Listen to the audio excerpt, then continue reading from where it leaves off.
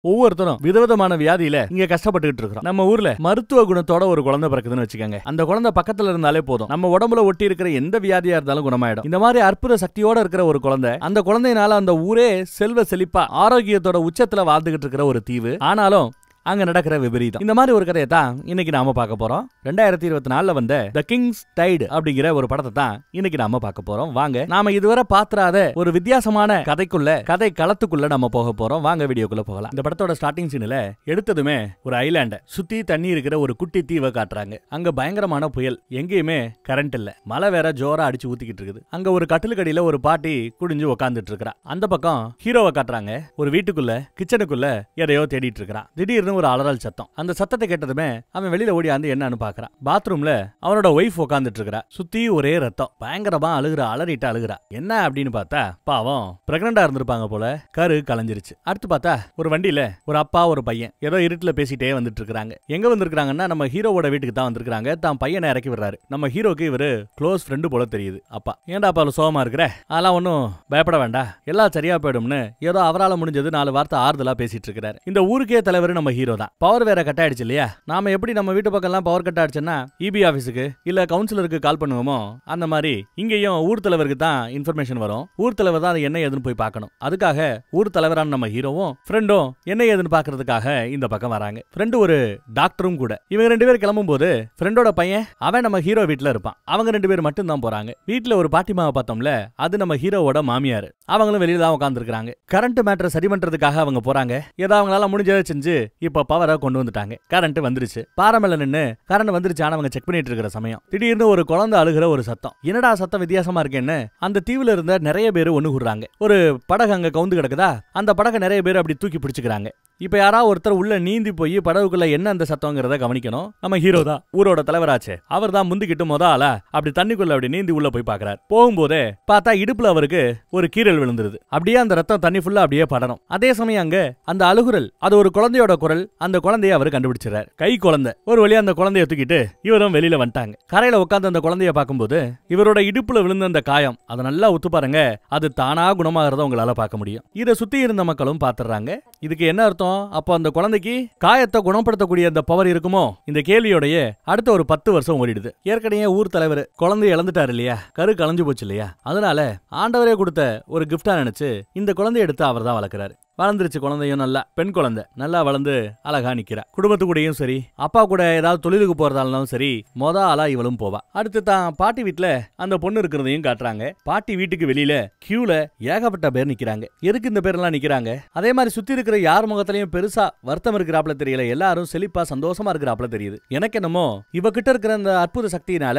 அவங்க உடம்புல இருக்கிற வியாதியெல்லாம் குணமாகுது போல தெரியுது. அவர்களுக்கு ஆரோக்கியம் கிடைக்குது போல தெரியுது. அதனாலதான் அவ கூட பக்கத்துல நின்னாலே தங்க தங்களுக்கு நல்லது நடக்குதுன்னு நினைச்சிட்டு இந்த கூட்டம் கியூல நின்னு அவ பக்கத்துல நிக்கிறதுக்காக வந்துகிட்டு இருக்காங்க போய்கிட்டு இருக்காங்கன்னு தெரியுது. நீங்க இதை நோட் பண்ணீங்களா? அந்த பாட்டி கூட படத்தோட ஸ்டார்டிங் சீன்ல பார்க்கும்போது படுத்த படுக்கையா கிடந்தாப்புல இருந்தாங்க. ஆனா இப்போ அவங்க எவ்வளவு ஹெல்த்தியா செழிப்பா இருக்கிறாங்கன்னு பாருங்க. இவங்க தான் இப்படி எல்லாரும் சந்தோஷமா இருக்கலாமேன்னு எல்லாருக்காகவும் இதை ஆர்கனைஸ் பண்ணி நடத்திக்கிட்டு இருக்கிறது. தன் அப்பாவோட ஃப்ரெண்டு டாக்டர் இல்லையா? அவர் அடிக்கடி இங்க வந்துட்டு போவாப்ல அவரும் நம்ம பொண்ணுக்கும் நல்ல ஃப்ரெண்ட் ஆயிடுறாரு. இவரே டாக்டர் இவர் என்ன வியாதியை குணப்படுத்துறதுக்காக இங்க வராரு அப்படின்னு கேக்குறீங்களா? இவர் டெய்லி ராத்திரி ஓவரா சரக்கடிக்கிற கெட்ட பழக்கம் உண்டு. அடுத்த நாள் காலையில கேர் ஆயிடும்ல அந்த கேரை குறைக்கிறதுக்காகவே இங்க வருவாப்ல இந்த பொண்ணு பக்கத்துல வந்து நின்னாலே அவருக்கு கேர் நல்லா குறைஞ்சிரும். கட் பண்ணா இப்போ ஒரு ஸ்கூலை காட்டுறாங்க. தீவுல இருக்கிற ஸ்கூல் தான். ஸ்கூல்ல இருந்தா டீச்சரும் ஒருத்தர் இருக்கணும்ல அந்த டீச்சரும் கூட சேம் பாட்டிமா தான். இந்த பொண்ணோட பாட்டிமா தான். அவங்க எல்லாருக்கும் கிளாஸ் எடுத்துட்டு இருக்காங்க இவ பின்னாடி ஒருத்தர் உட்காந்துட்டு இருக்கான்ல இவன் பேரு ஜூனியர் இந்த பொண்ணோட க்ளோஸ் ஃப்ரெண்டும் கூட. எல்லாம் கிளாஸ் எடுத்து முடிஞ்சதும் எல்லாரும் ஐலாவுக்கு நன்றி ஐலாவுக்கு நன்றி அப்படின்னு சொல்லிட்டு தான் கிளம்புறாங்க. அதென்ன ஐலாவுக்கு நன்றி?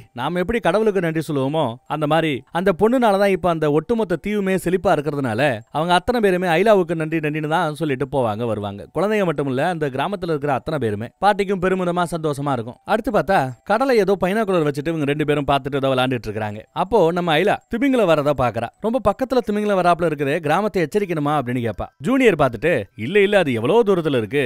இதெல்லாம் ஒரு மேட்டரே இல்ல எச்சரிக்கணும் அவசியம் இல்லைன்னு ஜூனியர் சொல்றான் அப்படியே பேசிட்டு அவங்க அந்த பக்கத்துல நடை கட்டுறாங்க. இவங்க வீட்டுக்கு போற அந்த வழியில ஒரு புத்து மாதிரி தெரியுது.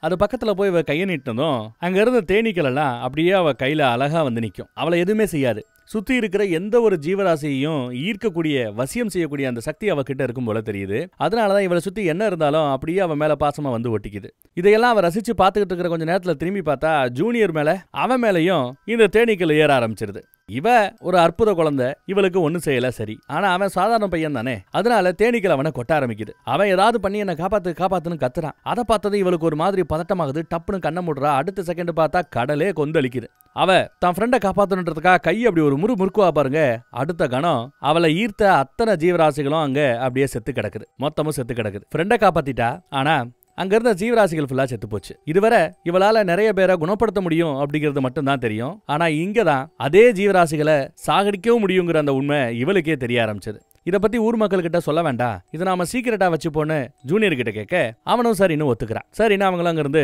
வீடு கிளம்பிட்டாங்க. இவங்க தீவுக்கு கொஞ்சம் தூரத்துல மீன்பிடி கப்பல் ஒண்ணு வெளி உலகத்துல இருந்து வந்திருக்கும். ஏதோ மீன் பிடிக்கிறதுக்காக ஒரு படகு வருது. அதை பார்த்த ஒருத்தர் உள்ளூர்காரரு ஒரு மணி அடிக்கிறார். ஒரு எச்சரிக்கை மணி. அந்த மணி சத்தம் கேட்டதுமே அத்தனை பேரும் டப்பு டப்பு டப்பு டப்புன்னு அவங்க வீட்டில் இருக்கிற பவர் எல்லாம் கட் பண்றாங்க. வெளிச்சத்தை கட் பண்றாங்க. ஏன்னா வெளியாட்களுக்கு இந்த மாதிரி ஒரு தீவு இருக்குது. இந்த தீவுல இவ்வளவு மக்கள் செழிப்போட வாழ்றாங்கங்கிற உண்மை தெரியக்கூடாதுங்கிறதுக்காக அதை ஒரு ரகசியமாக தான் அவங்க வச்சிருக்காங்க அந்த மீன்பிடி படகம் அங்க இருந்து போனதும் அப்புறம் இவங்க இயல்பு நிலைமைக்கு திரும்புறாங்க. அப்புறம் அங்க ஊர்ல இருக்கிற ஆம்பளை பசங்க எல்லாம் ஒரு கிளப் மாதிரி ஒரு இடத்துல உட்காந்து ஜாலியா சண்டை போடுறது சண்டையில யார் ஜெயிப்பான்னு பெட்டு கட்டுறது இந்த கூத்தெல்லாம் நடந்துகிட்டு இருக்குது. அங்க நம்ம டாக்டர் ஃப்ரெண்டு அவரு மேட்சை பார்க்காம தூங்கிட்டு இருப்பாப்ல தூங்கிட்டு இருக்கிறவன தட்டி எழுப்பினா கூட யாரா ஜெயிச்சா சொல்றா பாப்போம்னா கரெக்டா சொல்றா இவன் தான் ஜெயிச்சான் அப்படின்ட்டு. அங்க ஒருத்தன் வாரம் வாரம் வியாழக்கிழமை மீன் பிடிக்க போவான் போல தெரியுது. அவன் நம்ம ஹீரோவை வா சண்டை போடலாம் போட்டி போடலாம் கூப்பிடின்னு கூப்பிடுறேன். ஒரு கால் இந்த சண்டையில நான் ஜெயிச்சிட்டா உன் பொண்ணை வர வியாழக்கிழமை நான் மீன் பிடிக்க போறேன்ல நான் கூட்டிட்டு போவேன். ஏன்னா அவ கூட இருந்தா மீனெல்லாம் அளவுக்கு அதிகமா மீன் பிடிக்கலாம். மீன் வந்து தானா வந்து வலையில விழும். இப்படி எல்லாம் நினைச்சுக்கிட்டு தான் அவன் அப்படி கேக்குறான். ஆனா அதுக்கு அப்பா என்ன சொல்றாரு? ஊர் தலைவர் என்ன சொல்றாரு? இல்ல ஏற்கனவே நாமெல்லாம் எல்லாமே பேசி முடிவெடுத்தது தான் மாசத்துக்கு ஒரு நாள் மட்டும்தான். அவளை அந்த மாதிரி நம்ம கூட்டு போவோம். ஓரளவு செழிப்பா நமக்கு மீன் கிடைக்கும். நம்ம நல்லபடியா வாழ்க்கை நடத்துறதுக்கு அது போதுமானதா இருந்தது. இப்ப என்ன நீ புதுசா ஒரு நாள் கூப்பிடுற? அதெல்லாம் முடியாதுங்கிறாரு அப்பா நம்ம படத்தோட ஹீரோ. ஆனால் அவன் இல்ல இல்ல நீ தோத்தாங்கோலி சும்மா பயந்துகிட்டு இப்படி எல்லாம் இது பண்ணாத. வா போட்டி போடலாம் வா. அப்படி இப்படி நீ ஏதோ ஏத்தி விட்டு சண்டைக்கு ஒத்துக்கவும் வச்சிடறாப்ல எல்லாம் ஓகே. சண்டை போட்டாங்களா இல்லையா நமக்கு காட்டல. டப்புன்னு கட் பண்ணி ஹீரோவோட வீட்டை கட்டுறாங்க. ஹீரோவும் அந்த டாக்டர் ஃப்ரெண்டும் தான் வராங்க. ஹீரோ மூஞ்சில ஃபுல்லா காயம். வந்ததும் வியாழக்கிழமை நம்ம பொண்ணை மீனவர்கள் கூட்டிட்டு போவாங்க அப்படின்னு தான் பொண்டாட்டி கிட்ட சொல்றாப்ல. அப்ப என்ன அர்த்தம்? போட்டியில அவர் தோத்து போயிட்டாருன்னு அர்த்தம் இல்லையா? ரைட் டாக்டர் ராத்திரி டைம்ல அதுவும் ஆம்பளை பசங்களா சேர்ந்து பெட்டு கட்டி பந்தயம் கட்டி சண்டை போட்டுட்டு இருந்த இடம். சும்மாவே சரக்கடிக்கிற மனுஷன் ஓவரா சரக்கடிச்சு வந்திருக்கிறார். இங்க தான் வீட்டுல ஜூனியர் விளையாண்டுகிட்டு இருப்பான். டாக்டரோட பையன் தான் ஜூனியர் அவனை கூட்டிட்டு அவர் அவர் வீட்டு பக்கம் கிளம்புறாரு. அப்புறம் சரி பொண்ணு எங்கன்னு விசாரிக்கிறாப்ல பொண்ணு மேல படுத்திருக்கான்னு சொன்னதும் சரி நீ தூங்கு நான் மேல போய் பொண்ணை பார்த்துட்டு வரேன்னு ஒய்ஃபுக்கு முத்தம் கொடுத்துட்டு இவர் விறுவிறுன்னு மேல ஏறாரு அந்த அம்மா பெருசா பதறவே இல்ல. என்ன உடம்புல அடிபட்டு இருக்கு காயம்னு. ஏன்னா எப்பேற்பட்ட காயமா இருந்தாலும் மேல தான் பொண்ணுகிட்ட போனா அது குணமாயிடும்னு அந்த அம்மாவுக்கும் தெரியும். அதே மாதிரி தான் இவர் மேல வந்து தான் பொண்ணு பக்கத்துல உட்காந்து பொண்ணு அப்படி அவளோட பார்த்துட்டு இருப்பார் பாருங்க. அடுத்த சில நிமிடங்கள்லயே அவரோட காயங்கள் எல்லாம் அப்படியே தானா குணமாறத நீங்களும் பார்க்க முடியும். எஸ் காயமெல்லாம் குணமாயிடுச்சு. அடுத்த நாள் வழக்கம் போல பாட்டி வீட்டுல ஒரு பெரிய கியூ அதே கியூல முந்திர நாள் ஐலாவோட அப்பா கூட ஒருத்தன் சண்டை போட்டான் இல்லையா? அந்த பையில நிக்கிறான். இவன் தானே ஜெயிச்சான். இவனும் நிக்கிறான்னா இவனுக்கும் சமத்த காயம் தான் அப்ப ஹீரோ சும்மா இல்ல அவரால முடிஞ்ச அளவு குத்து குத்துக்குமா குத்து குத்தி இருப்பார் போலதான் தெரியுது. எதுக்கு கீழே நிக்கிறான்? அவனோட காயங்களும் குணமாகணுன்றதுக்காக கீழே நிக்கிறான். வழக்கம் போல அப்பாவோட ஃப்ரெண்டு டாக்டர் ஃப்ரெண்டு அவரை சரக்கடிச்சிட்டு பாட்டி வீட்டுக்கு வந்திருக்கிறான். அப்ப இந்த பொண்ணு ஏதோ புக் படிச்சுட்டு இருக்கிறேன் அந்த ஸ்டோரி புக்கோட கடைசி பக்கத்துல எங்க இந்த புக் பிரிண்ட் ஆயிருக்கு அப்படிங்கிறது எழுதியிருக்கு. எங்க பிரிண்ட் ஆயிருக்கு? பிரான்ஸ்னு பிரிண்ட் ஆயிருக்கு. அதாவது பிரான்ஸ் நாட்டுல தான் இந்த புக்கை பிரிண்ட் பண்ணி ரிலீஸ் பண்ணிருக்கானுங்க. அதை பார்த்துட்டு அந்த பொண்ணு பிரான்ஸ்னா என்ன? நீங்க சொல்லுவீங்களே ஒரு மெயினான ஒரு பெரிய நாடு அப்படின்னு. அந்த நாடு தானா? அப்படிங்கறத விசாரிக்கிறேன் அம்மா அதை பத்தி விளக்கி சொல்ல வர அதுக்குள்ள பாட்டி உள்ள புகுந்து அதெல்லாம் ஒண்ணும் இல்ல அதெல்லாம் சும்மா ஏதோ எழுதுன்னு எழுதிருப்பாங்க அப்படி மெயின்லேண்டு பெரிய தேசம்னு ஒண்ணும் கிடையாது அப்படின்னு சொல்லிட்டாங்க. அப்புறம் அந்த டாக்டர் ஃப்ரெண்ட் அங்கிருந்து அமிச்சிட்டு அடுத்த ஆளு கீழே இருக்கிறவங்க வாங்க அப்படின்னு கூப்பிடுறாங்க பாட்டி. அடுத்த நாள் காலையில விடிஞ்சதும் போட்டியில ஜெயிச்சவன் கூட ஒருத்தரை கூட்டிட்டு மீன் பிடிக்க ரெடி ஆயிட்டான். கூடவே இன்னொரு போட்டு அந்த போட்ல நம்ம ஹீரோ ஹீரோவோட பொண்ணு ஐலா அவங்களும் கூட கிளம்புறதுக்கு தயாராயிட்டாங்க. போட்டியில தோத்ததுனால சொன்னபடி செய்யறாரு நம்ம ஹீரோ அதே சமயம் அந்த பக்கம் ஐலாவோட ஃப்ரெண்டு ஜூனியர் நம்ம டாக்டர் சாரோட பையன். அவன் ஒரு மூணு பேரை கூட்டிட்டு அந்த பக்கம் சைக்கிள்ல போய்கிட்டு இருக்கிறான். ரெண்டு பொண்ணுங்க ஒரு பையன் கூட இருக்கிறாப்ல தெரியும் இந்த பக்கம் மீன் பிடிக்கிறதுக்காக மீன் வலைய அப்படியே கடல்ல வீசுறாங்க. நம்ம ஐலா கைய அப்படியே அந்த கடலுக்குள்ள கொண்டு போய் வைக்கிறா. அடுத்த சில வினாடிகள்லயே ஏகப்பட்ட மீன்கள் அப்படியே அங்க சூழ ஆரம்பிக்குது. அதே சமயம் இந்த பக்கம் பார்த்தா சைக்கிள்ல போனாங்க இருக்காங்கல்ல பசங்க. அவங்க எல்லாம் ஒரு மலைப்பகுதியில நிறைய குட்டி குட்டியா பழம் இருக்கு. இழந்த பழம் மாதிரி சிவப்பு கலர்ல. அந்த பழங்களை பறிக்கிறாங்க. இது ஆக்சுவலா நச்சு பழம் விஷ பழம் இதை சாப்பிட்டோம்னா உடம்புல பதினஞ்சு நிமிஷத்துக்கு பிறகு விஷம் பரவ ஆரம்பிக்கும். அந்த பதினஞ்சு நிமிஷம் கேப்புக்குள்ள நாங்க உங்களை குறி கொண்டு போய் ஐலா கிட்ட விட்டுருவோம். ஐலா ஒன்னா காப்பாத்திடுவா. நீ சாப்பிடு அப்படின்னு கம்பல் பண்றாங்க. அந்த பொண்ணு ஐயோ நான் சாப்பிட மாட்டேன்ப்பா அப்படின்னு சொல்லிக்கிட்டு இருக்கா. சின்ன என்ன பண்றோம்னு தெரியாம விளையாட்டு இப்ப வினையாக போகுது. ஜூனியரும் அதான் அந்த பொண்ணு பயப்படுறா வேணாங்கிறால விடுங்கப்பா அப்படின்னு கரெக்டா தான் பேசுறேன் அப்போ நான் சாப்பிட மாட்டேன்னு சொன்ன அந்த பொண்ணோட அண்ணங்காரன் நான் ரொம்ப தைரியசாலி. நான் சாப்பிடுவேன்னு அந்த பழங்களை எடுத்து அவன் வாயில போட்டுக்கிறான். பெரிய இவன் ப்ரூவ் பண்றதுக்காக கூட்டத்துல சில பேர் இந்த மாதிரி தான் இறங்குவானுங்க போல தெரியுது. அப்படித்தான் இந்த பையனும்.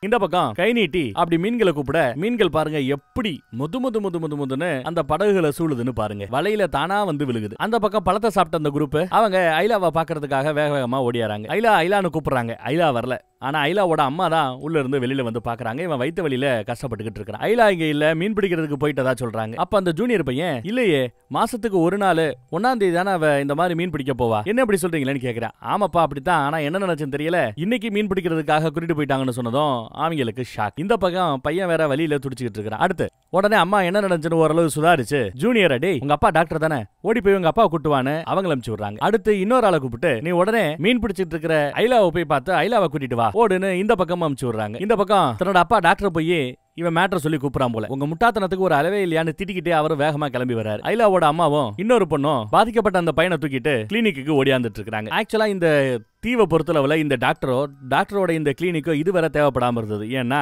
ஐலா தான் எல்லாத்தையுமே குணப்படுத்திக்கிட்டு இருந்தா. அதனால கிளினிக்கு வேலை இல்லாம இருந்தது. பல நாட்கள் பூட்டியே கிடந்ததுனால அப்படி ஸ்டக் ஆகி நிக்குது கதவு. ஒரு வழியா போராடி தான் அவர் கதவை திறந்து உள்ள வராரு பையனை எங்க கூட்டியாந்துட்டாங்க உள்ள வந்து ஒரு டேபிள் அவனை படுக்க போட்டாச்சு. மித்த சின்ன பசங்க இருக்க வேண்டாம்னு அந்த பசங்க எல்லாத்தையும் வெளியில அமிச்சாச்சு ஐலாவோட குடும்பமே இங்க இருக்கு. அவங்க அப்பாவை தவிர ஐலாவை தவிர. இந்த பக்கம் டாக்டர் ஒரு பெரிய இன்ஜெக்ஷன் மாதிரி ஒன்னு எடுத்து டியூப் அந்த பக்கத்துல அவன் வாய்க்குள்ள அமுக்கி அவன் வாய்க்குள்ள போன அந்த விஷத்தன்மை கொண்ட அந்த பழங்கள் அந்த பழம் எல்லாம் அப்படியே உள்ள போய் நல்லா கரைஞ்சு போய் கிடக்கும்ல. மொத்தத்தையும் குடல்ல இருந்து அப்படியே உறிஞ்சி எடுக்கிறாரு. மொத்தம் இந்த பக்கத்துல அப்படியே பொல பொல பொல பொலன்னு கொட்டுது.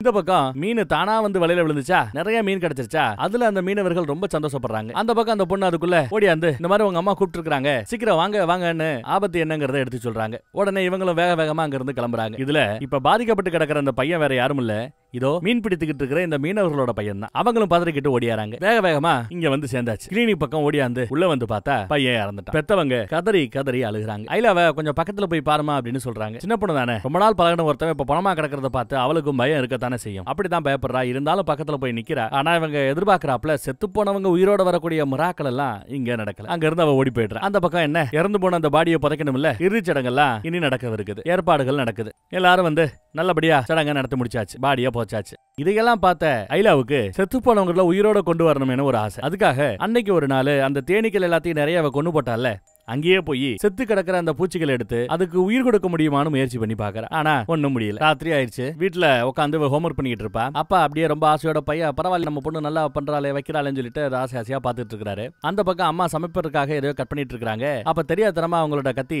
லைட்டா அவங்க விரல கீறிடுது ரத்தம் வருது. பொதுவா என்ன ஆகும்னா இந்த பொண்ணு பக்கத்துல இருக்கிறதுனால எப்பேற்பட்ட காயமா இருந்தாலும் டப்புனு குணமாயிடும். ஆனா இந்த தடவை காயம் குணமாகல. ரத்தம் தொடர்ந்து வந்துகிட்டு தான் இருக்குது. என்னங்க இங்க வந்து கொஞ்சம் பாருங்களேன் அப்படின்னு கொண்டு போய் காட்டுறாங்க. உடனே அப்பாவும் சரி சின்ன காயமா இருக்கு இதுல ஒரு முடிவெடுக்க முடியாது. பெருசா கீறி பாப்பமேனு பெருசா கையை கீறிக்கிறார். ஏதாவது குணமாகுதான்னு செக் பண்றாரு அப்பையும் குணமாகல. பொண்ணு என்னாச்சுப்பா? அப்படின்னு விசாரிக்கிறா. அதெல்லாம் ஒண்ணும் இல்ல ஒண்ணும் இல்ல சொல்லிட்டு பொண்ணு கிட்ட கூட இதையெல்லாம் மறைக்கிறாங்க. உடனே ஊரை கூப்பிட்டு ஒரு மீட்டிங்க போடுறாப்ல ஊர்ல இருக்கிற பெரிய ஆட்கள் எல்லாம் பெரும்பான்மையான ஆட்கள் எல்லாம் வந்தாச்சு. அங்க வந்துதான் எல்லாருக்கும் அந்த ஷாக்கான நியூஸ் சொல்றாப்ல இல்ல அவளோட பவர்ஸ் எல்லாம் இப்போ காணாம போயிடுச்சு. அவளால இனி யாரையும் குணப்படுத்த முடியாது. ஆல்ரெடி நாங்க எங்க கைய கூட கீறி செக் பண்ணி பார்த்துட்டோம். இனி அவளால யாரையும் குணப்படுத்த முடியாது. அவளும் சின்ன குழந்தை தானே நாமளும் எவ்வளவுதான் அவ சக்தியை நாம உறிஞ்சி உறிஞ்சி பயன்படுத்துறது. அதனாலதான் என்னவோ அவளோட சக்தியை இழந்துட்டாலோ பாவம். இனிமே அவளை நம்மளால டிபெண்ட் பண்ணி இருக்க முடியாதுன்னு ஒரு குண்டா தூக்கி போறாரு இனிமே உங்களுக்கு ஏதாவதுனா இதோ நம்ம டாக்டர் ஃப்ரெண்ட் இருக்கிறாப்ல அவரோட கிளினிக் இருக்குது. இனிமே அந்த கிளினிக் எப்பவுமே ஓபன்ல இருக்கும். நீங்க தாராளமா கிளினிக்கு போய் ட்ரீட்மெண்ட் எடுத்துக்கங்க அப்படின்னு சொல்லிட்டாப்ல. கூட்டத்துல நிறைய பேரு இல்ல இல்ல சக்தி போயிடுச்சுங்கிறீங்க. ஆனா அது மேபி கொஞ்சம் டெம்பரரியா கூட இருக்கலாம். சில மணி நேரத்துல அந்த சக்திகள் திரும்ப வரதுக்கும் வாய்ப்பு இருக்கு. ஆனா நம்ம அந்த பிராக்டிஸை விட்டுறக்கூடாது. எப்பவும் போல நாங்க கீழே வந்து நிக்கிறோம். எப்பவும் போல அந்த பண்ணு பக்கத்துல நாங்க வந்து வந்து போய்கிட்டு இருக்கிறோம்.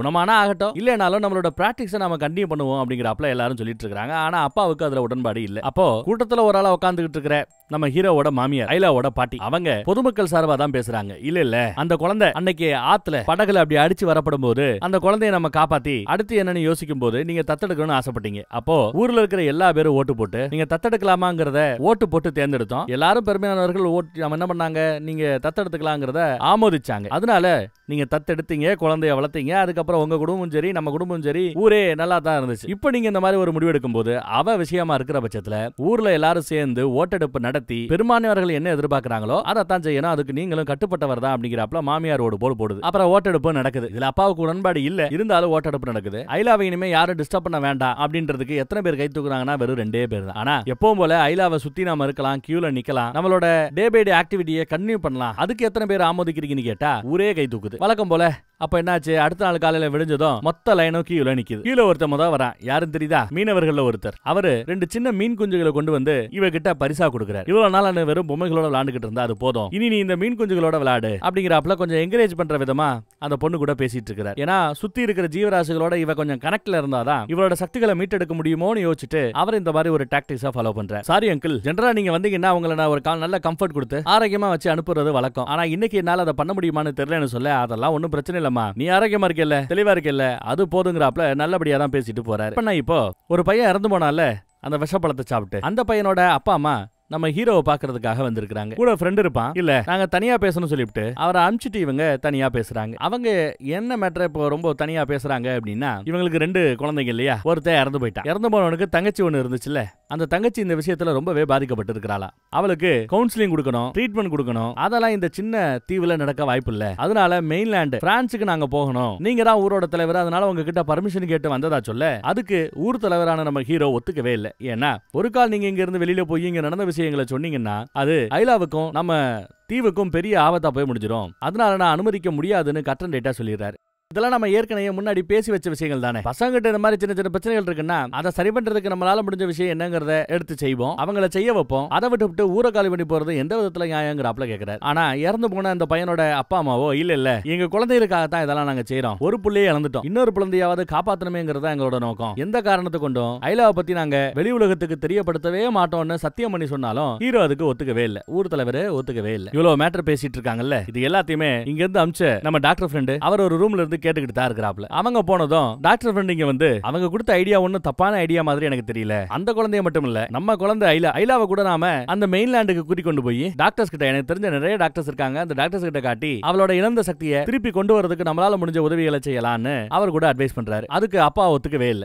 ஏன்னா இவ்வளவு சக்தி படைத்த ஒரு பொண்ணை நாம ஒரு மெயின் லேண்டுக்கு ஒரு பெரிய சிட்டிக்கு நாம கொண்டு போறோம் அப்படிங்கிற பட்சத்துல அங்க கண்டிப்பா இவளை பிடிப்பாங்க. மேட்ரை கேள்விப்பட்டு இவ மேல தேவையில்லாம அவர்களோட பார்வை திரும்பும். இவளை ஆராய்ச்சிங்கிற பேர்ல ஆராய்ச்சிக்கு பயன்படுத்துற எலி மாதிரி என் பொண்ணை பயன்படுத்த பார்ப்பாங்க. இவ்வளவு ரிஸ்க் இருக்கு. அதனால என்னால ஒத்துக்கவே முடியாது. எப்படி இந்த மாதிரி ஒரு மோசமான ஐடியா ஒன்னால கொடுக்க முடியுதுங்கிறாப்ல? ஃப்ரெண்டை பார்த்து இவர் கடிக்கிறார். ஃப்ரெண்டும் சரி ஏதோ மனசுல பட்டதை சொன்னேன். நான் கிளம்புறேன்னு கிளம்பிடுறாப்ல. அன்னைக்கு நைட்டு பாட்டியோட வீட்டுல ஒரு சப்போர்ட் குரூப் மாதிரி அந்த ஊர்ல இருக்கிற சில பேர் சேர்ந்து ரவுண்டா சேர்ல உட்காந்து டிஸ்கஸ் பண்ணிக்கிட்டு இருக்கிறாப்ல தெரியுது. நிறைய கவுன்சிலிங் படம் பார்த்திருந்தீங்கன்னா உங்களுக்கு தெரிஞ்சிருக்கும். வரிசையா டேபிள் ரவுண்ட் டேபிள் மாதிரி போட்டு அதுல எல்லாரும் உட்காந்துப்பாங்க பொம்மை இல்லைன்னா ஏதாவது ஒரு பால் இல்ல காயின் இதை அப்படியே சுத்த விடுவாங்க. ஒரு ஒரு ஆள் கைக்கு அது போய்கிட்டே இருக்கும். யார் கையில அந்த பொம்மையோ இல்லை காயினோ இருக்குதோ அவங்க பேசணும் மித்த எல்லா பேரும் கேட்கணும். இதுல இந்த இடத்துல மனசார உண்மையை பேசணுங்கிறது தான் எதிர்பார்ப்பு. ஏன்? ஐலா நமக்கு வேணும்னு நீங்க எதிர்பார்க்கறீங்க? அவளோட பவர் தான் போயிடுச்சு. இருந்தாலும் ஏன் அவ கூட இருக்கணும்? கீழே போய் நிக்கணும். செய்யற அந்த டே பை டே ஒர்க்க திரும்ப திரும்ப செய்யணும்னு ஏன் ஆசைப்படுறீங்க? அதற்கான உண்மையான காரணம் என்ன சொல்லுங்கன்னு கேக்குறாங்க. இதோ கரடி பொம்மையை கையில வச்சுட்டு உட்கார்ந்து இருக்காங்கல்ல இந்த அம்மா. இவங்களோட அம்மாவும் சரி பாட்டிமாவும் சரி. ரெண்டு பேருமே கேன்சர் வந்து நாற்பத்தொரு வயசுல இறந்து போயிட்டாங்க. ஆனா இவங்க இப்போ இந்த பரம்பரை வியாதியை தாண்டி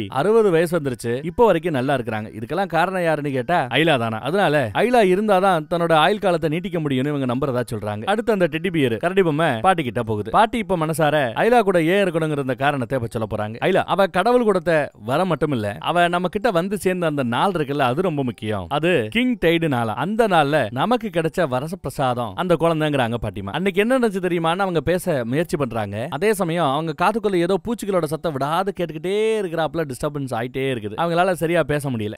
அந்த மீட்டிங் முடிஞ்சிருச்சு அவ்வளவுதான். கட் பண்ணா இப்போ பாட்டிமா அவங்க வீட்ல தூங்கிட்டு இருக்காங்க அவங்க வீட்டு ஜன்னலுக்குள்ள ஒரு தேனி இப்போ உள்ள வந்திருக்கிறாப்ல தெரியுது. உள்ள வர முயற்சி பண்ணுது டப்புன்னு இந்த பாட்டிமா வேற பயந்து முழிக்கிறாங்க. ஐலா தான் ஓடியாந்து அவங்களுக்கு குடிக்கிறதுக்கு தண்ணி எல்லாம் கொடுத்து பணிவிட பண்ணிக்கிட்டு இருக்கிறா. ஆமா நான் எப்படி இங்க வந்தேன்? அப்படிங்கிறப்பல பாட்டிமா கேக்குறாங்க. ஆக்சுவலா பாட்டிமா இப்ப தூங்கிக்கிட்டு இருக்கிறது ஐலாவோட வீட்டுல தான். பாட்டிமாக்கு என்ன பிரச்சனை அப்படின்னா டெமென்ஷியா வயசானாலே எல்லாருக்கும் வரக்கூடிய ஒரு ஞாபகம் மருதி பிரச்சனை தான். சுத்தி நடக்கிற எதுவும் தெளிவா புரியாது. ஒரே மாதிரி எனத்தையாவது மறைச்சு பார்த்துக்கிட்டே இருப்பாங்க மனநல பிரச்சனை இருக்கிறாப்ல அந்த மாதிரி இஷ்யூ தான் இப்போ பாட்டிமாவுக்கு இருக்குது. இப்போ பாட்டிமாவை பார்த்து இந்த பொண்ணு ஐல இல்ல பாட்டிமா முன்ன மாதிரி இல்ல. என்னால உங்களை குணப்படுத்த முடியலையே அப்படின்னு ரொம்ப ஆதங்கப்பட்டு வருத்தத்தோட பேசிட்டு இருக்கிறேன் அதுக்கு பாட்டிமாவோ நீ எங்ககிட்ட கிடைக்கிறதுக்கு முன்னாடி நான் படுத்த படிக்கையா கிடந்தேன். ஆனா நீ எங்களுக்கு கிடைச்ச பிறகுதான் இத்தனை நாளா நான் வாழ்ந்த இந்த வாழ்க்கை ஒரு சந்தோஷமான வாழ்க்கையா எனக்கு அமைஞ்சது. அதுக்கே நான் உனக்கு தேங்க்ஸ் சொல்லணும்னு சொல்லி குழந்தைய கட்டி பிடிச்சு அவங்களும் வருத்தப்படுறாங்க அழுகுறாங்க. அடுத்து வீட்டுல இருந்து இவங்க ரெண்டு பேரும் வெளியில வராப்ல தெரியுது எதுக்கு அப்பா வராரு? என்னங்க கிளம்பிட்டீங்களே அப்படின்னு விசாரிச்சா அதுக்கு பொண்ணு இல்ல ஜூனியர் வீடு வரைக்கும் போயிட்டு வரோம் அப்படின்னு சொல்றா. இல்ல ரெண்டு வீட்டை நோக்கி ஓடிட்டா. அதுக்கப்புறம் அப்பா தான் மாமியாரை பார்த்து என்னதான் இருந்தாலும் இந்த குழந்தை உங்களோட பேத்தியாச்சு. அவளுக்காக பேசாம ஊருக்காக பேசுனீங்களே. இது எந்த விதத்துல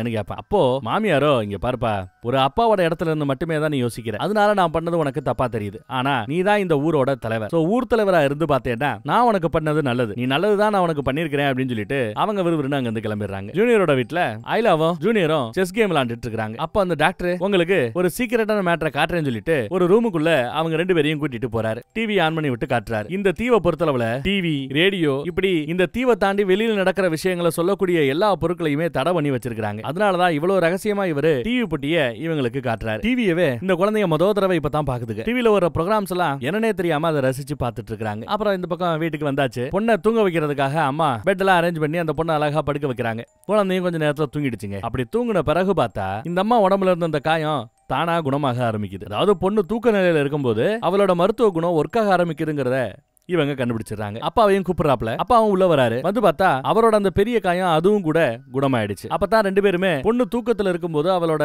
குணப்படுத்துற சக்தி இன்னும் இருக்குங்கிறத தெரிஞ்சுக்கிறாங்க. உடனே இந்த அம்மா இந்த நல்ல செய்தியை ஊர்க்காரங்கிட்ட சொல்லலாமேன்னு ட்ரெஸ் போட்டுட்டு விறுவிறுன்னு கிளம்ப பார்த்தா அப்பா அவளை தடுத்து என்ன புரிஞ்சுதான் பண்றியா? நம்ம பொண்ணு எவ்வளவு கஷ்டப்படுறா? ஊரு ஊரு ஊருக்காகவே. இப்ப இந்த உண்மையை சொன்னேடா மறுபடியும் பொண்ணோட சக்தியை தான் ஊர்க்காரங்க உறிஞ்செடுப்பாங்க. இவன் நல்லதுன்னு அவங்க யோசிக்க மாட்டாங்க. ஆனா நாம குழந்தைய வளர்க்குறவங்க. பேரண்ட்ஸ் நாம அவளோட நல்லதையும் பார்க்கணும். அதனால இந்த உண்மையை நாம வெளியில யாருக்கிட்டையும் சொல்ல கூடாதுங்கிறாப்ல ஹீரோவோட போர் போர் வராது. அம்மாவோ அதெல்லாம் சரிங்க. ஊர்க்காரங்க வேற. என்ன பத்த எங்க அம்மா வேற இல்லையா? அவங்களும் வியாதியால கஷ்டப்படுறாங்களா இல்லையா? அவங்கள மட்டும் அது கூட்டியாந்து நம்ம குணப்படுத்திக்கலாமே அப்படின்னு கேட்டா அதுக்கு அப்பா என்ன விளையாடுறியா ஆ? உங்க அம்மா தான் அந்த சப்போர்ட் குரூப்பையே அந்த வட்டமேச மாநாட்டையே நடத்துறது. அவங்கள கூப்பிட்டு குணமாயிடுச்சுன்னு சொன்னா கண்டிப்பா மித்த எல்லார்கிட்டயும் அவங்க சொல்லிடுவாங்க. மறுபடியும் தினம் தினம் ஒரு பெரிய கியூ வந்து இங்க நிக்கும். இது தேவையில்லாத விஷயம். நாம இதை செய்ய கூடாதுன்னு எப்படியோ பொட்டாட்டிய கன்வின்ஸ் பண்ணிடுறாரு. அவங்களும் சரின்னு ஒத்துக்கிட்டாங்க. கனத்த இதயத்தோட தான் இதை இவங்க ரெண்டு பேருமே செய்றாங்க. இந்த பக்கம் டாக்டர் சாரா காட்டுறாங்க. அவர் அந்த பக்கம் தான் நடந்து வந்துட்டு இருக்காரு. பாத்ரூம் வருது போல உஜா போயிட்டு அந்த பக்கத்துல நோட் பண்றாப்ல பாட்டி வீட்ல லைட் எரியுது. பாட்டி வீட்ல நிறைய பேர் இருக்கிற நடமாட்டமும் இவருக்கு தெரியுது. என்ன நடக்குதுன்னு ஒரு எட்டு பார்க்கலாமேன்னு இங்கிட்டு வராரு. அந்த குரூப்ல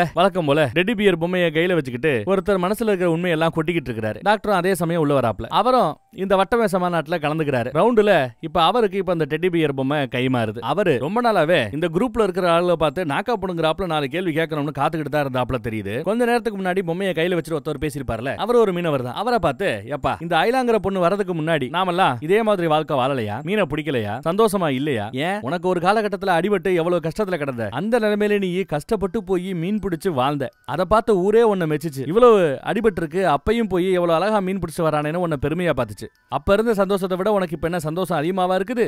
அப்படின்னு கேக்குறாரு. பழச நினைச்சு பாருங்கடா அப்படின்னு குரூப்ல இருக்க எல்லாத்தையுமே பேசுறாப்ல உடனே எல்லாரும் சேர்ந்து டாக்டர் ரொம்ப பேசுறாப்லன்னு டாக்டரை வெளியில வச்சு விட்டுறாங்க. வெளியில விறுவிறுன்னு வந்தவரு போய் ஒரு வீட்டு கதவை தட்டுறாப்ல யார் வீட்டோட கதவை? ஒரு பையன் பழத்தை சாப்பிட்டு இறந்து போனால அந்த வீட்டு கதவை தட்டுறாரு. யாரும் வந்து திறங்காப்ல தெரியல. இதனால இவரே திறந்து உள்ள போயிட்டாப்ல பொறுமை இல்லாம. உள்ள போய் பார்த்தா அங்கங்க கட்டை அது இதுன்னு டேமேஜா கிடக்கு வீடு.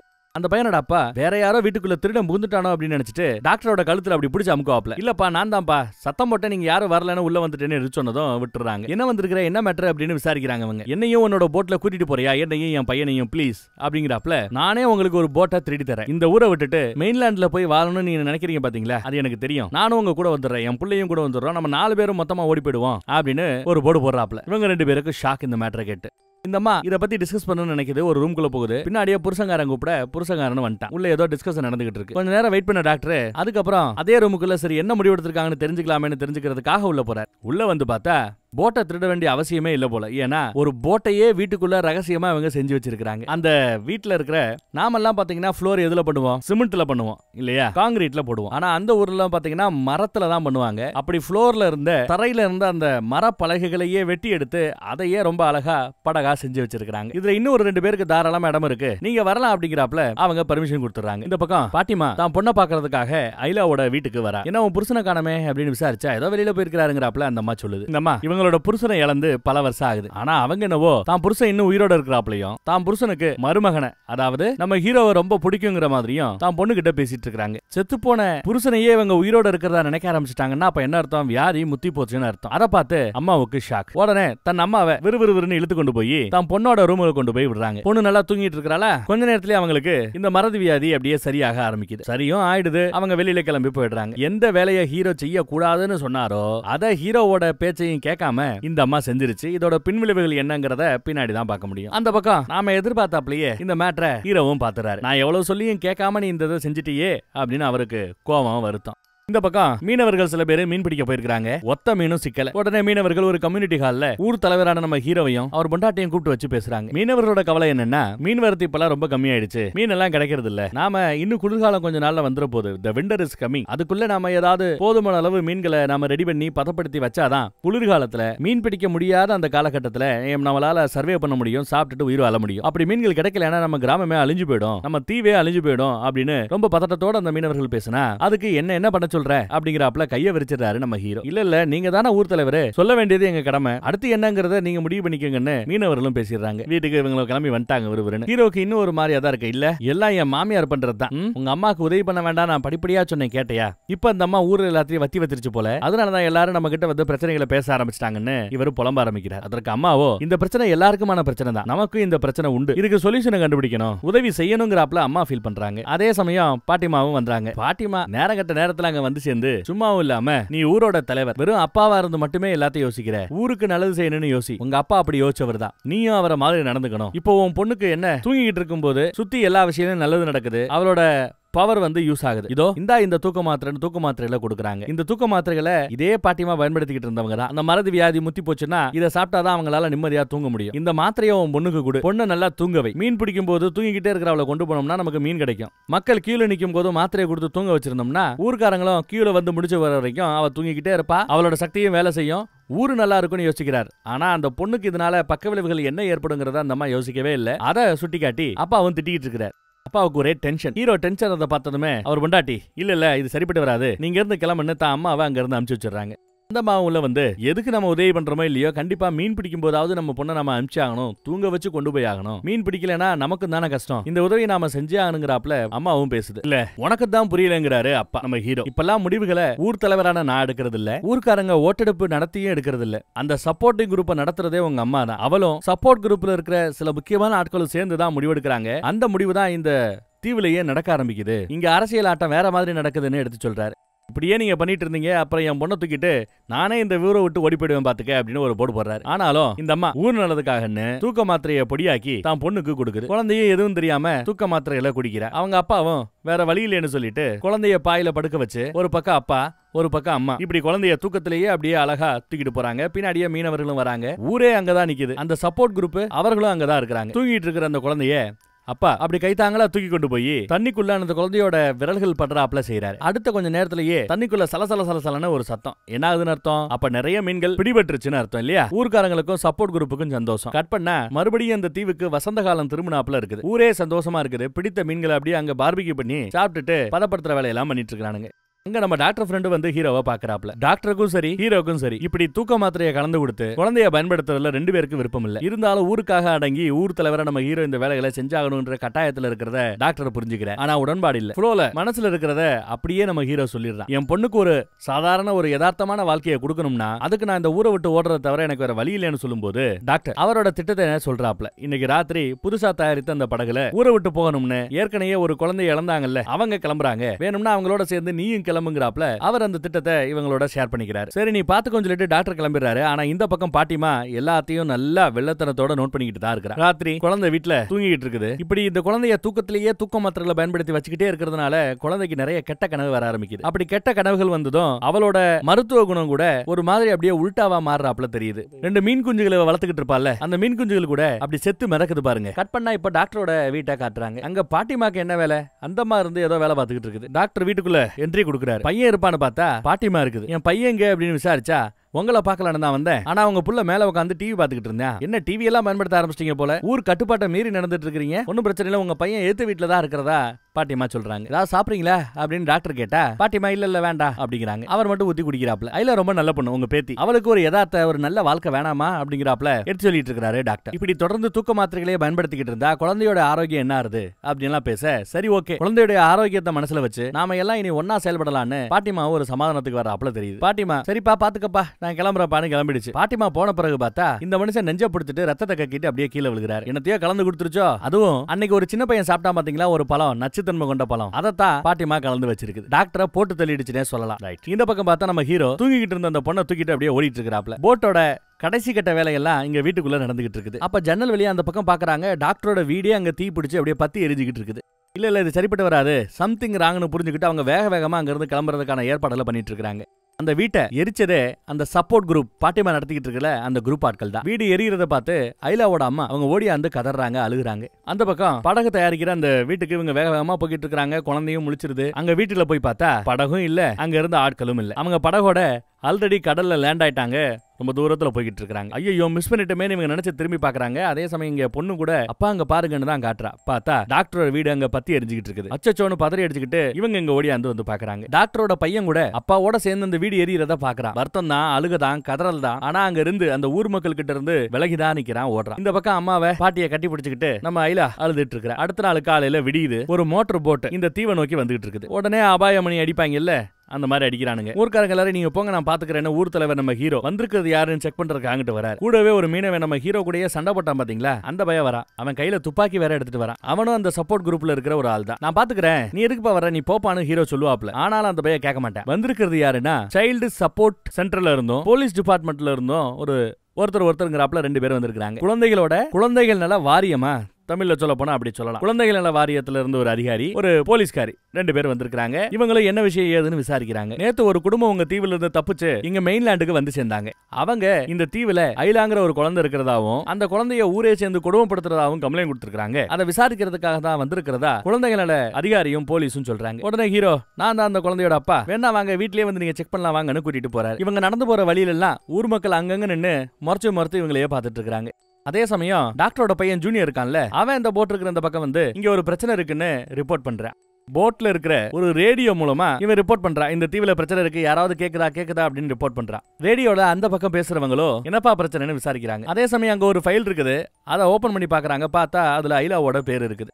இந்த பக்கம் அதிகாரிகள் வீட்டுக்கு வந்தாச்சு. சுத்தி அந்த சப்போர்ட் குரூப்பும் ரவுண்டு கட்டி சுத்தி நிக்கிறாங்க. போலீஸ்காரம்மா வெளியில நிக்க குழந்தைகள் நல அதிகாரி மட்டும்தான் உள்ள போய் அந்த குழந்தைய பாக்குறதுக்காக வராங்க. வெளியில போலீஸ்காரம்மாவோ சாதாரண என்கொயரி தான். நாங்க பாத்துக்கிறோம். நீங்க நிக்க கூடாது கிளம்புங்கன்னு சொன்னா ஒரு பையன் அங்க இருந்து நகர்றாப்புல தெரியல. உள்ள பார்த்தா அந்த அதிகாரி அந்த குழந்தைய பார்த்து லைட்டா என்கொயரி பண்ண ஆரம்பிக்கிறாங்க. வீட்டுல ஏதாவது பிரச்சனையானு கேட்டா இல்லைங்கிறா. இந்த ஊர்க்காரங்களால பெத்தவங்களால ஏதாவது உனக்கு இஷ்யூ இருக்கான்னு கேட்டா இல்லைங்கிறா. சரிப்பா அப்ப எதுவும் இஷ்யூ இல்லையா? அப்போ ஃபால்ஸ் கம்ப்ளைண்ட் தான் வந்திருக்குது. நான் கிளம்புறேன்னு அதிகாரி அங்க இருந்து கிளம்ப போற சமயம். மேடம் ஒரு நிமிஷம் நில்லுங்கன்னு குழந்தை சொல்லுது. என்னம்மா அப்படின்னு அதிகாரியும் விசாரிக்கிறாங்க. அது ஒண்ணும் இல்ல. என்ன பார்க்க டெய்லி நூத்து கணக்குல ஊர்க்காரங்க வருவாங்க. அவங்க எல்லாரும் என்ன பார்த்துட்டு போகும்போது ஐலாவுக்கு நன்றி ஐலாவுக்கு நன்றின்னு சொல்லிட்டு தான் போவாங்க. நீங்க என்ன அப்படி சொல்லாம போறீங்களே? அப்படின்னு கேட்க இந்த அதிகாரிக்கு எல்லாம் புரிஞ்சு போச்சு. ஏதோ சம்திங் ராங் அப்படிங்கறத ரொம்ப அழகா புரிஞ்சுக்கிறாங்க. இவள மட்டும் இல்ல இந்த குடும்பத்தையும் இங்க இருந்து கூட்டிட்டு போகணும்னு அவங்க முடிவு பண்ணிட்டாங்க. போலீஸ்கார அம்மா கிட்ட உள்ள நடந்ததை எடுத்து சொல்ல. போலீஸ்கார அம்மாவும் சரி இந்த ஃபேமிலியை கூட்டிட்டு போலாமேனு கிளம்ப முற்படுற சமயம் சப்போர்ட் குரூப் ரவுண்டு கட்டுது. குறிப்பா பாட்டிமா இல்ல இந்த குடும்பத்தை நீங்க கூட்டிட்டு போக கூடாது ஊரோட தலைவரே அவர் தான் இதுக்கு நாங்க ஒத்துக்க மாட்டோம்னு பிரச்சனை பண்ண ஆரம்பிக்கிறாங்க. அதே சமயம் இந்த பக்கம் நம்ம ஜூனியர்